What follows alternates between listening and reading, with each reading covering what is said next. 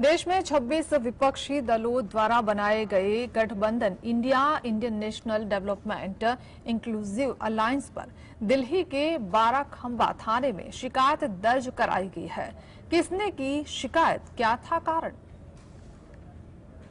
देश में 26 विपक्षी दलों द्वारा बनाए गए नए गठबंधन, India, Indian national development inclusive alliance पर। दिल्ली के बारा खम्बा थाने में शिकायत दर्ज कराई गई है। शिकायतकर्ता डॉक्टर अवनीश मिश्रा ने इन पक्षों के खिलाफ आवश्यक कार्यवाही का अनुरोध किया है।